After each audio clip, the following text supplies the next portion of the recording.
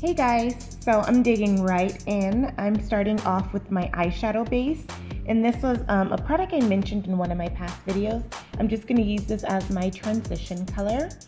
Um, please don't mind all the white ashiness on my face. I already put my primer on as well as my um, eyebrows and my concealer and all that fun stuff. So my face looks a bit of a mess right now. So please pretend you don't see that.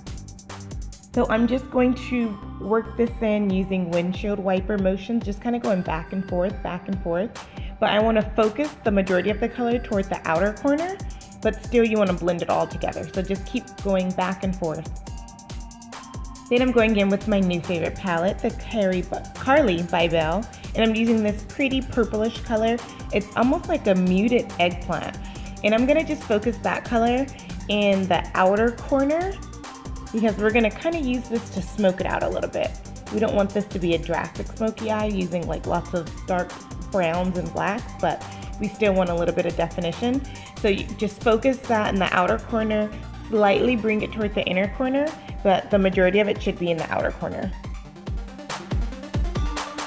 So just keep blending, and then as you blend out, you kind of want to um, blend more toward the tip of your eyebrow because you kind of want to make like a V shape. If you understand, if you don't understand, let me know and I'll make a um, in-depth video so you can see exactly what I'm talking about. So now I'm going in with my Morphe 350 palette and I'm going in with this gorgeous brown. It's like a chocolate brown and I'm just using that to smoke out the outer corner just a little bit more.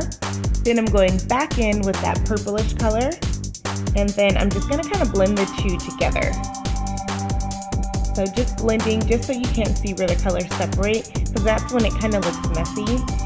So I'm just blending these two together.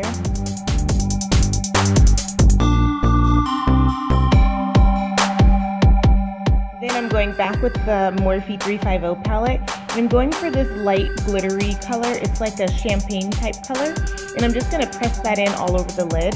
It looks like I'm swiping because the video is kind of sped up, but I'm actually just pressing that in.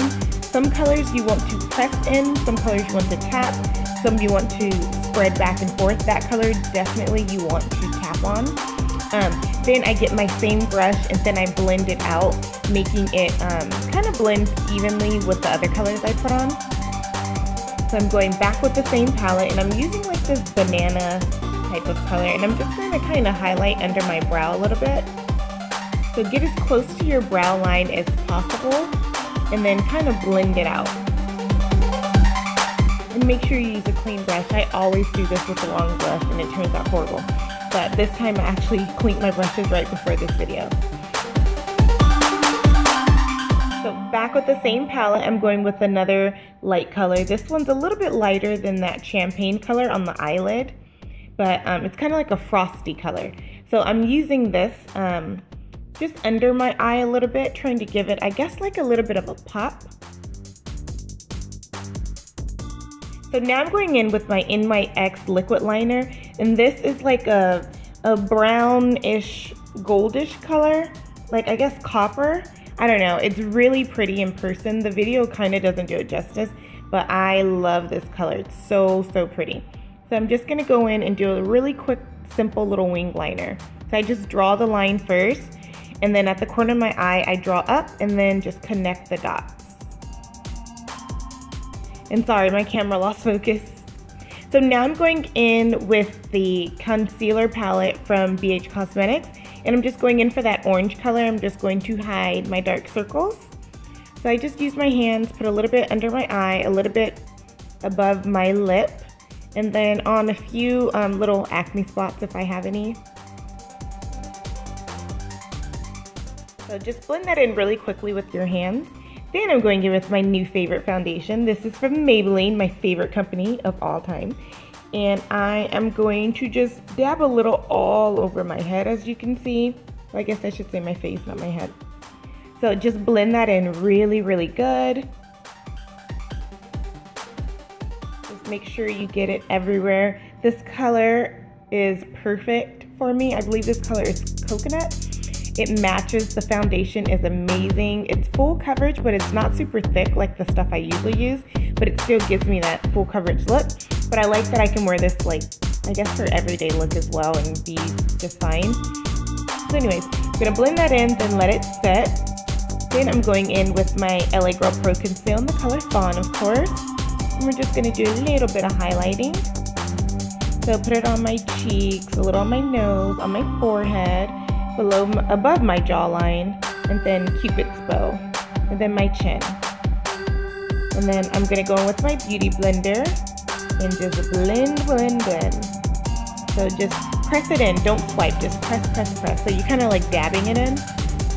Just do that all over and you kind of have to do it a hundred times, but I promise you it's worth it to not just swipe it because it looks very streaky when you do that. So just, um, you know the deal. Just blend, blend, blend, push it, push it, push it into the skin.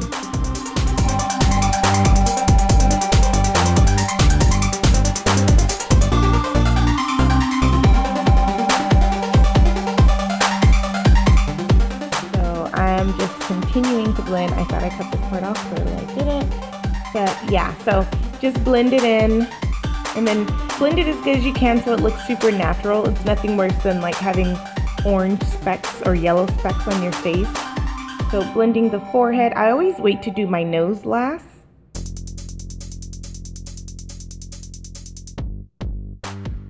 blend that in. I do my nose last just because I guess I want all the product. I feel like that's where I really want to be highlighted and it disappears first.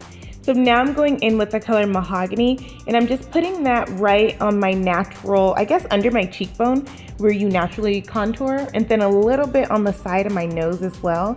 But put it up closer toward your, um, I guess, brow bone and then put it on your nose as well if you want to kind of I guess thin out your nose and then the same thing you kind of like dab it um, what I do I dab just a little and then I let the rest of the color kind of come down I don't want like a long line just toward like closest toward the top of my cheekbone I like the line and then I use the excess remaining on the brush on the powder sponge I'm sorry on my jawline and then I just go in with a contour brush and then I just do my nose. Whenever I would do my nose with the actual blender, it would always mess up my contour, my highlight color. So I didn't like doing that. So this brush works perfect for me. So you see, I think I might have messed up again. So then I just get that same brush. That's why I use two different brushes. I keep saying brush. That's why I use two different sponges because um, one has the light color, so if I mess up, I could just pick it right back up. So now I'm blending the Sacha and my Ben Nye Camel Powder. I'm just blending them together. And then I'm just putting it exactly where I put my highlight. And then I'm putting this um, Ebony Bronze exactly where I put my contour, which is the side of my nose and then my cheekbones. So I'm using um, a similar brush to the one I put on the liquid with and I'm just going to kind of get in there. So now I just get my angled contour brush and then just um, put a little color there just to bring some color back to my face because sometimes if you highlight too much you can look really really yellow and that's not fun. So I just do this to bring a little bit of color back to my face. I don't know why I do my forehead, it's never shown. I have bangs now, but anyways. So now after about I think I let this sit about like seven minutes maybe.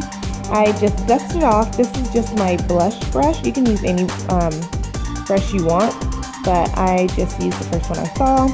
Don't worry about the color in your eyebrows. That's why I did mine a little bit darker because I knew all that yellow was going to fall into them anyway. So um, yeah. So now I'm just getting my L'Oreal, um, what is this? My carbon pencil and I'm just putting a little bit of color on my waterline. Just a tiny bit toward the outer corner. I don't want that much in the inner corner, but I still want um, you to tell I have on a little bit. So now I'm going in with my favorite product of all time. Of course, it's Maybelline's Great Lash. So I'm just putting this on really quickly. Mascara can be boring, so that's why I edit it. So now I'm going in with my um, Makeup Forever Pro Sculpting Duo. And I'm using that darker color right on top of that ebony bronze I put on. And then I'm just putting it all over my forehead as well, and my jawline. And then I'm going in with e.l.f., my new favorite blush palette. This is so amazing. I believe it was like $4. So then I'm going with that pretty like magenta-ish color.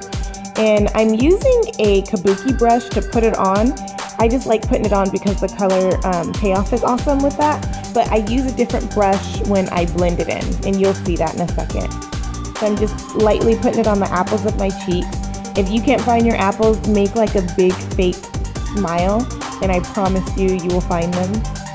So you see I'm using a different brush to um, kind of blend it out a little bit better. So now I'm going with Iman, and this is Afterglow. I'm going in with that um, coppery color, and I'm just to use that as my highlight. I think halfway through doing my makeup, I decided I didn't want to do um, as crazy makeup as I thought, far as my face. So this is a very natural glow it gives. So I'm putting a little bit at the tip of my nose. Um, I'm super oily, so I don't like to put it all over my nose, just a tiny bit at the tip. Then I'm getting the cupid's bow. I use my finger sometimes just because it helps give like that natural look. So I'm just blending that out really good. Then I'm going in with my Cover FX, which I cannot show apparently. and this is the matte powder in the color medium. And I'm just gonna lightly dust that all over my face. Um, lately I've been doing my makeup a little bit heavier just because I use this dusting powder and it kind of mattes it. So this color is MAC, this color is Chestnut. So I'm just lining my lips and then I just kind of blot it with my fingers. And then I'm going to go in with um, Sephora's Marvelous Mauve and Kat Von D's Bow and Arrow. So right now, this is the Sephora color, and it looks a mess, but once I blend them together, I promise it looks cool. So now this is the Kat Von D Bow and Arrow color. These two colors put together are seriously my favorite look right now. I don't care who tells me I look fake, whatever, I don't care, it's my favorite color. So anyways, um, when I do matte lips, I don't like them, I don't like when it looks perfect, so I like to use my finger to kind of blot it out. So I hope you guys like the video.